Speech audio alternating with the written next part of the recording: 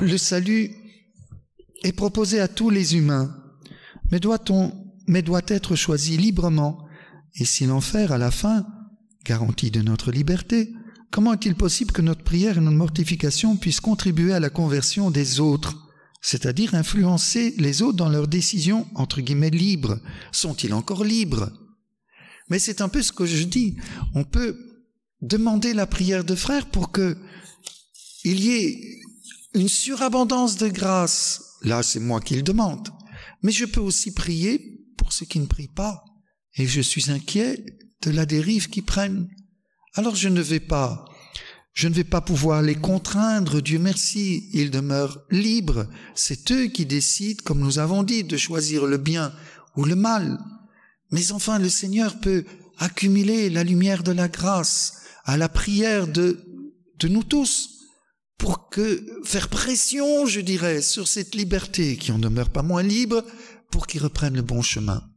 Dieu aime tous ses enfants, vous savez, il n'y a pas de problème.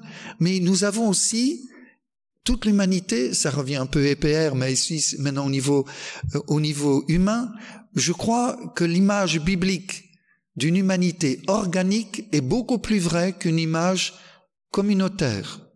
La communauté, c'est évidemment déjà mieux que la collectivité qui est une somme d'individus.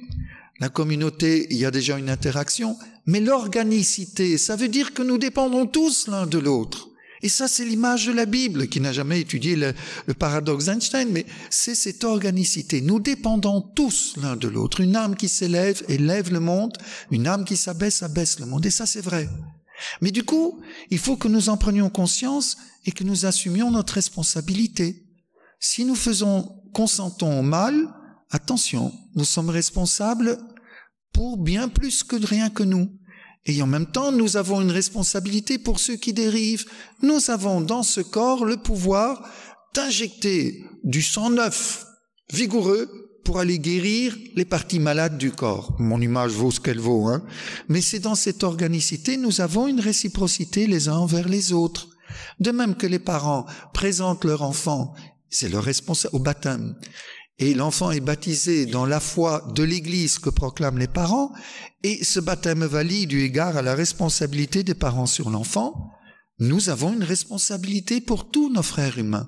De là que Saint Paul dit prier pour tous les hommes, à commencer par les chefs, et il dit ça également dans la lettre aux Romains, quand les chefs disent ce sont des persécuteurs des chrétiens, et il leur dit mais priez pour eux. Effectivement, qu'est-ce qu'on peut faire d'autre? Mais nous n'y pensons pas de prier pour les mauvais chefs d'État, mais qu'est-ce qu'on peut faire d'autre pour qu'ils se bonifient? Alors c'est cette dimension organique. On aurait tendance à dire, oh, il fait ce qu'il veut. Mais ce n'est pas vrai. Même si nous sommes indifférents, c'est faux. Nous sommes influencés. Donc autant prendre notre part pour euh, influencer aussi nos dirigeants, ne fût-ce que par notre prière et un amour de charité. Je n'ai pas dit d'affection, mais de charité, c'est-à-dire dans l'Esprit Saint qui peut les convertir. Voilà, j'ai essayé de répondre à, cette autre question en même temps.